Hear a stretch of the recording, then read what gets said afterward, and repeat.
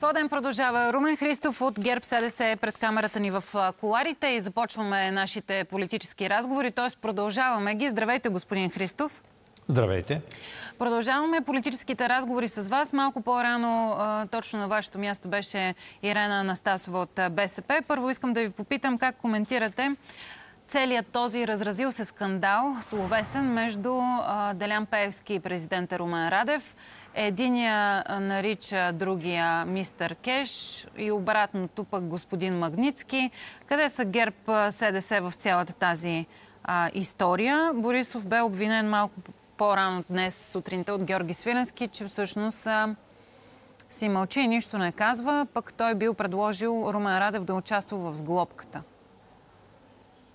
Няма такова нещо. Аз не съм чувал за такива предложения въобще може ли да си помислиме, че господин Радев ще участва по някакъв начин в сглобката? Първо, правомощията, които има по Конституция, не му позволяват. И второ, вие знаете, че ние сме на диаметрално противоположни разбирания и виждане по отношение на политиката. Иначе това, което се случва, аз по-скоро би го определил така на напрежение и война между институциите, между парламента от една страна и от друга страна президентската администрация, а не толкова личностно, защото в крайна сметка те олицетворяват и двамата представители, които споменахте преди малко, олицетворяват тези институции.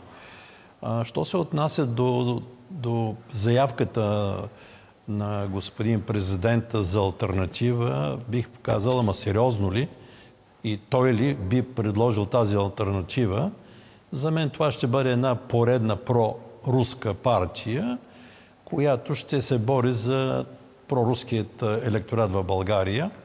А, иначе евроатлантическото мнозинство, проевропейските хора в България и мнозинството в парламента сме достатъчно като мнозинство, за да вървиме по пътя, който беше избран преди много години.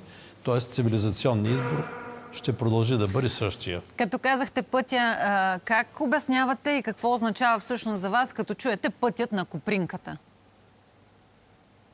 Ами, е, много митови легенди се е, въртят в тази посока. Разбира се, аз нямам никакви доказателства. Това, което сте прочели е, вие в медиите, това, което сте чули в медиите, съм го чул и аз. Нормално е да бъде направена проверка от специализираните органи, още повече, че както вие споменахте, преди малко имало представител на БСП, те твърдят, че са вкарали са депозирали по-скоро достатъчно сигнали, нека да бъдат проверени и ако някой е нарушил закона, да си носи отговорност. Има ли според вас, припознавате ли а, едни такива опасения за а, корупция и касички в президентството? Ами, както се казва, няма дим без огън. Много време се говори в тази посока. Имаше коментари за натиск върху бизнеса по време на тези продължили твърде дълго служебни правителства, много наброй, почти две години и така дал, дали им основания да смятат, че след като и президента и президентската институция са зад гърба им, могат да се позволят и неща, които по принцип не, не би следвало да се случват. Проверките биха показали, затова имаме специализирани органи, прокуратура, и следствие, и а, Министерство на вътрешните работи. Аз се надявам на тяхната експертиза и на тяхната коректност по отношение на това, което а, излиза в медийното пространство. Предстои ротация, господин Христов. Защо се спирам на тази тема, която някак сякаш замря в медийното пространство, защото пък доста дни я коментирахме през отминалите седмици.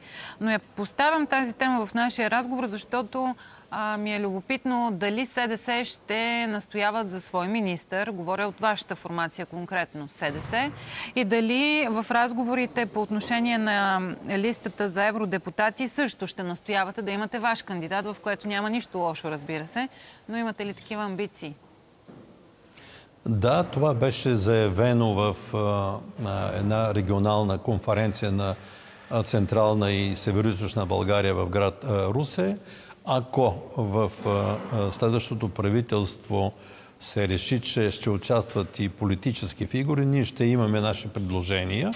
Както това въжи и за евролистата. Както знаете, ние сега имаме евродепутат в лицето на господин Александър Йорданов и се надяваме, че в разговорите, които ще водим с по-големия коалиционен партньор, а именно ГЕРБ, ще можем да постигнем така представително место за Съюза на демократичните сили. Няма да ви питам за имена, защото знам, че няма да ми кажете. Обаче, ако имаме политически кабинет, ще предложите министри. Кажете ми, кои са ведомствата, за които вие имате подготвени експерти, които бихте предложили. Не ви питам за имена, а само за министерствата. Например, Министерство на земеделието, Министерство на транспорта. Кое министерство? Министерства. Мисля, че министър на транспорта се справя много добре, така че нека да не го коментираме. Много са министерствата, които в момента се коментират. Не зная дали във всички тях в крайна сметка ще се осъществи промяна, но бихме могли да предложим в областта на стопанските и економическите министерства, без да ги конкретизираме. На земеделието и економиката. Примерно, примерно. Добре. Благодаря ви много, господин Христов, за този разговор. Те първа ще проследим всички а, така, политически дискусии през днешния ден в парламента. Уважаеми зрители, останете с нас.